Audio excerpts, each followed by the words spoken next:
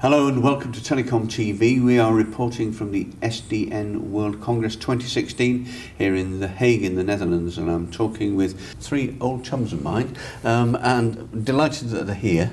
Um, we're going to be talking about something that is either a, problem or an opportunity and we're going to determine which is which are in the SDN WAN area and these are guys who know what they're talking on that. So let me introduce them. First of all, on my left, Andrew Coward, VP of Strategy at Brocade.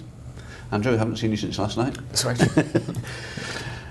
Nicholas, Nico Fischbach, from, who's Strategy Architect and Innovation Director at Colt.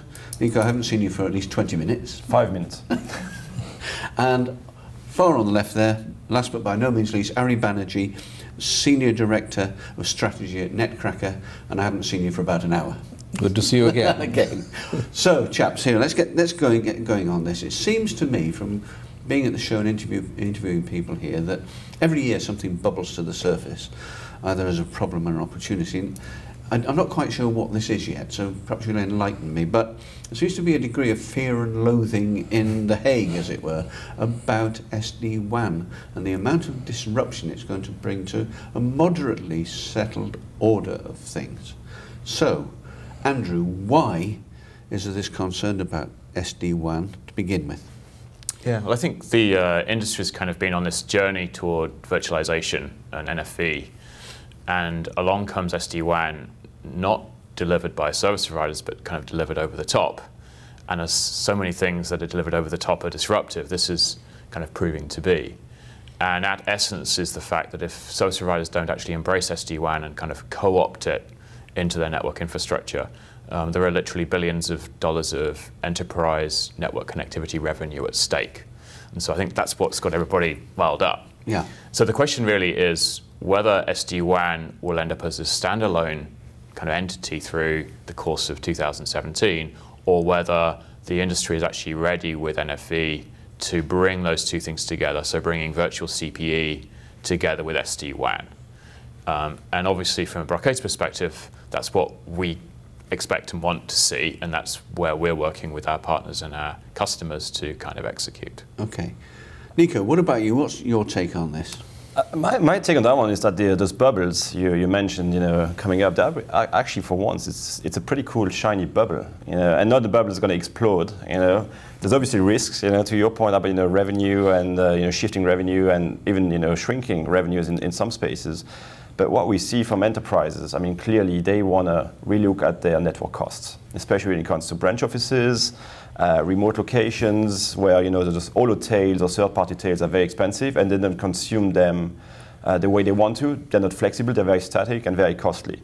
And you know what, what I've seen is exactly what you mentioned is this, this first view talking to customers that you know you service provider I don't need you anymore because I'll do it myself. You know there's enterprise solutions out there that provide SD-WAN. I'm going to deploy it, run it by myself. By the way, uh, you know, your IP VPN, you can shut it down in a couple of months, a couple of years from now. That's the first meeting. The second meeting is maybe tell me a little bit more about your, your SD-WAN proposition. Oh, really? Yeah, yeah, we, we, we, could learn also from you a little bit. We've been talking to many of those enterprise players, um, but it seems complex. The third meeting is, please, pretty please help us.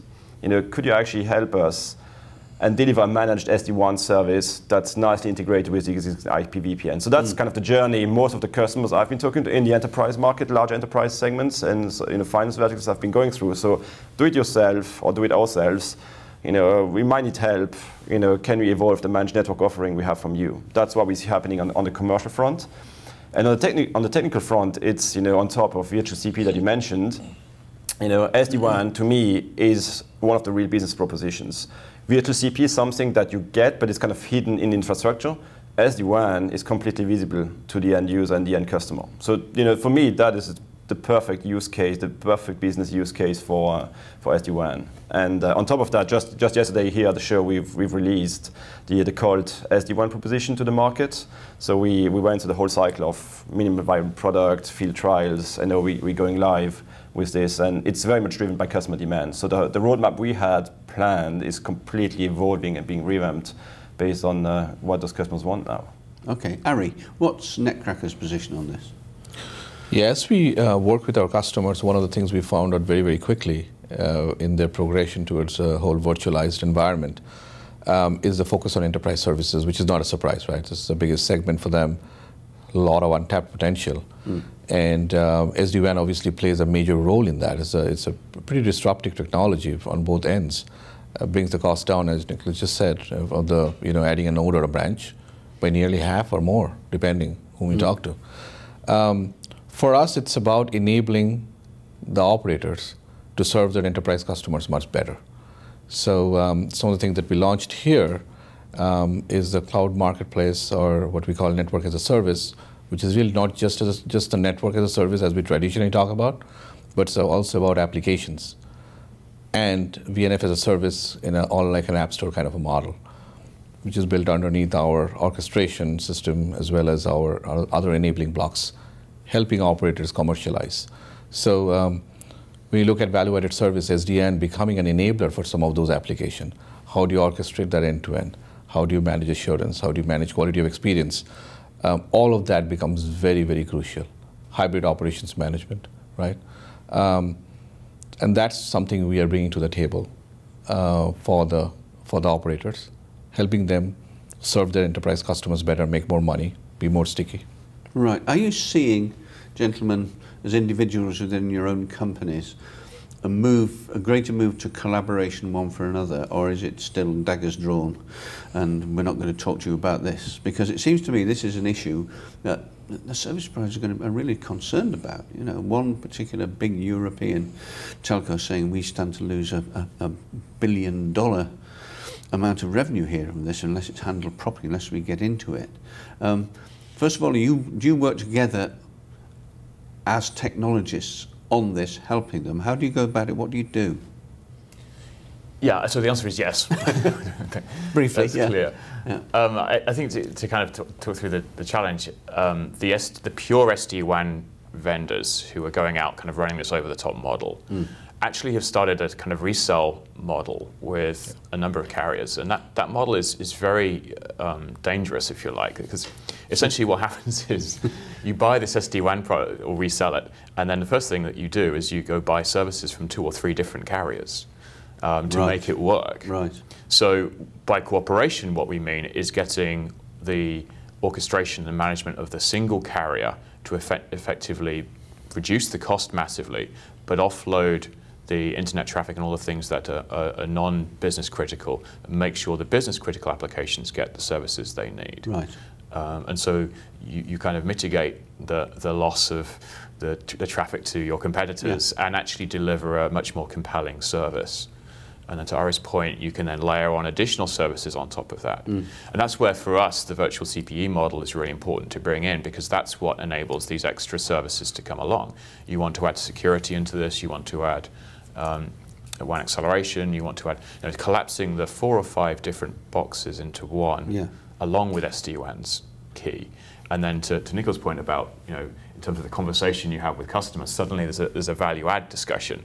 So you may, you may lose on one side of the equation, but you've gained on the other, and you've had a reason to have a conversation and reset mm. things. Yeah, I think that's perfectly true. I think you know, very, it's still very much being looked at as a pure network play, but more and more discussing with customers on RFPs, you see that you know, managed firewall is the next one. So the, the next, or some sort of managed firewall solution you know, is what um, you know, most of the enterprise wants to manage this, those endpoints, remote branches, and there you know, central policy management is going to be very helpful.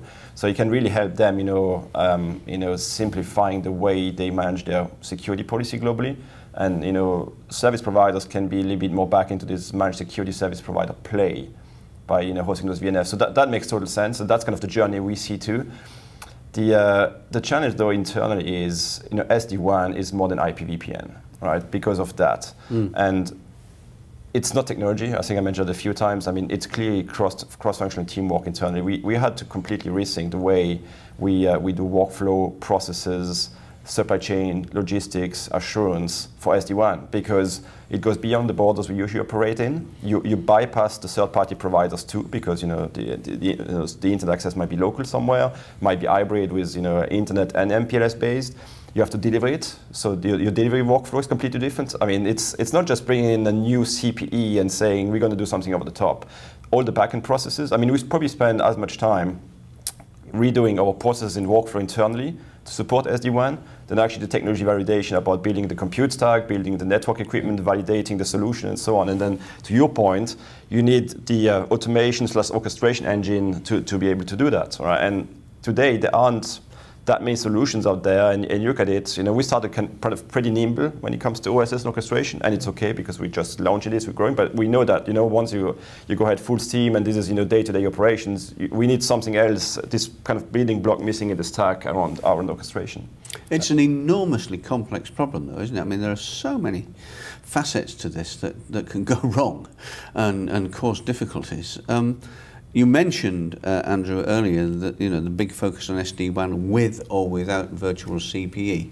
What's it shaking out as? Is, is, has any sort of decision been made collectively in the industry whether you need VCP with this or not, or whether you can manage with simply with SD-WAN? I think it, these are kind of slow trains, fast trains discussion, yeah, right? Yeah. So the VCP thing has been on a, on a track for, for, the last 18 months yeah. or so. You're going like the clappers, yeah. And, well, and then this SD-WAN has, Allegedly. Kind of, uh, has now um, created this huge sense of urgency yeah. um, for, from a business imperative perspective. So depending on the carrier and, and how, to the cultural point that you kind of make about how, you know, whether or not they've got the right point, whether or not the carrier individually can make the two things converge mm. from day one, or whether there'll be this overlap.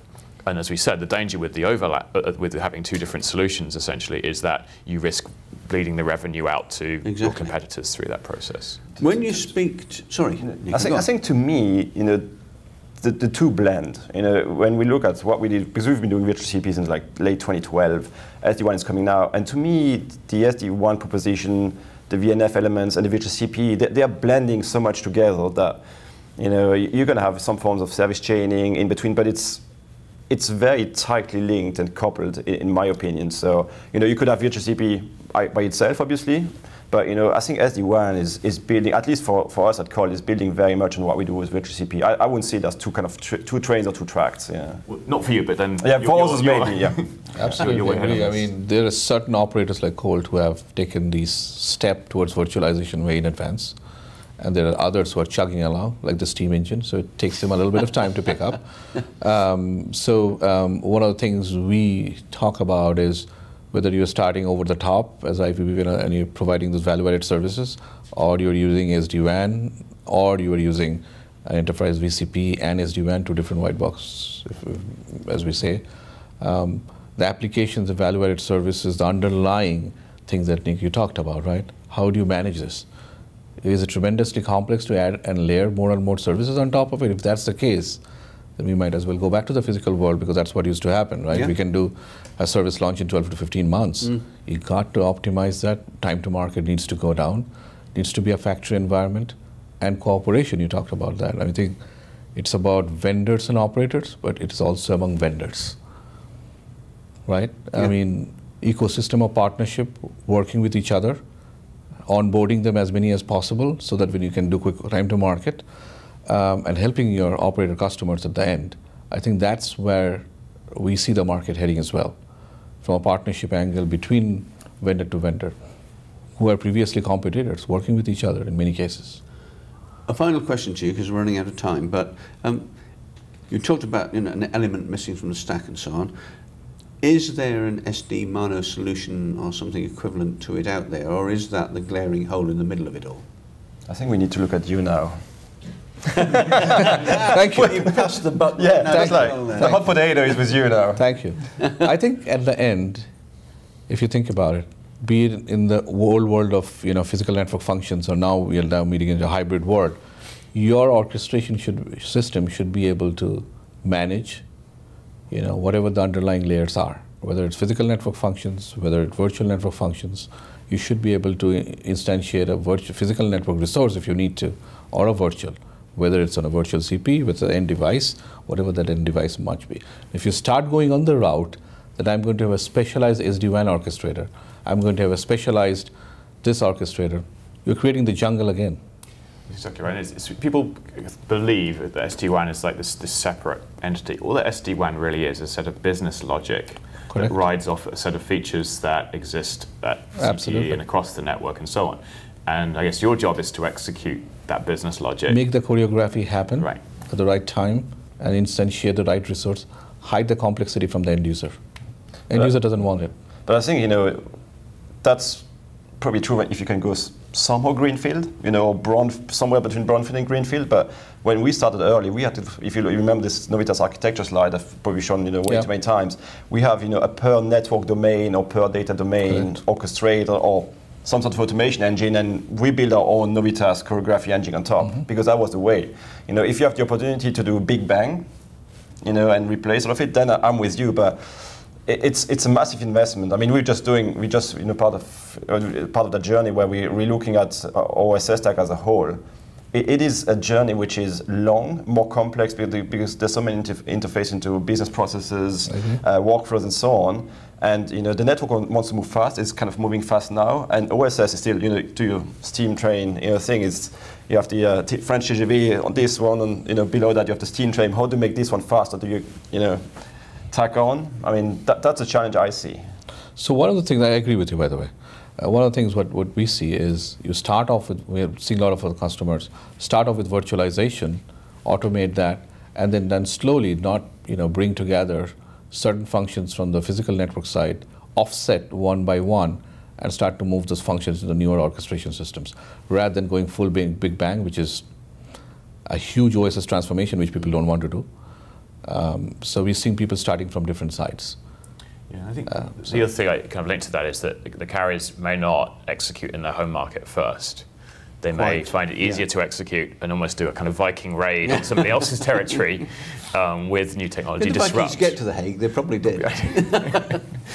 and uh, you know, kind of take it t- take it from there, and then learn those lessons and bring them back home. Right. I would maybe tend to disagree on that one. Yeah, because our customers, I mean, most of them, they don't want the pure over-the-top solution or kind of the internet-only use case. They want this combination of uh, MPLS private wire plus internet and best of both worlds. So, you know, we, we are actually starting in our home market, our home Yeah. markets, and expanding the other way. Because the OTT play, every, they can do it by themselves if they really want to. But what they're actually asking us for is, you know, the, the reliability, reliability and the quality of service you get from MPLS plus the flexibility and the lower cost from internet. So I think this use case, which is actually more complex, is actually the top one use case we, we get to hear from customers. But I'd also argue you're a disruptor in your own home markets for those reasons. Yeah, you, you've, yeah. have been ahead of the But curve. right? to your very, very early point, you know, it's that's the thing. It's this revenue at risk, and you know, it's. I think it's actually positive that even the portfolio teams realize that you have to disrupt yourself a little bit to uh, to avoid you know cannibalization of revenue. Gentlemen, we have running, we've run out of time, we've, we've run over time, but very, very interesting stuff. It'll be fascinating what, to see what happens, what plays out over the next 12 months and the next one of these uh, such meetings. Let's, I'm very intrigued to find out what's going to happen. But in the meantime, Ari Banerjee, Nicholas Fishbach and Andrew Coward, gentlemen, thank you very much indeed. Thank you very you. much. Thank you.